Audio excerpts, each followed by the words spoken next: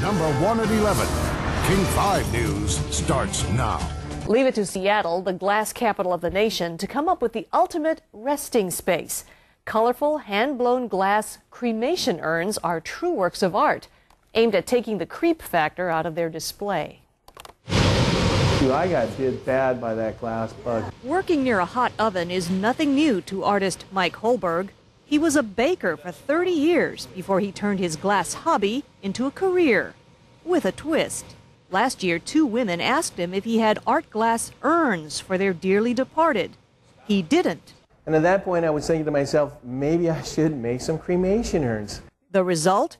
True works of art, holding up to 300 cubic inches of remains. The, the cool thing about these are you'll put this up on the shelf. There you have your work of art. Nobody's going to come in and look at it and go, hey, who's in there? The only requirement for what Holberg calls his personal temples is that they have a lid.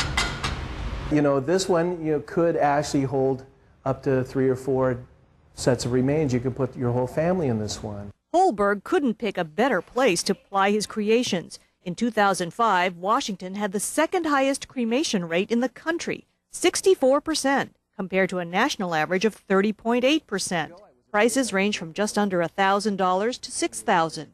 Holberg says it makes for interesting cocktail party conversation. Yeah, yeah, you do get the looks, and, and then you get not only the look, the really odd look like, what? You know?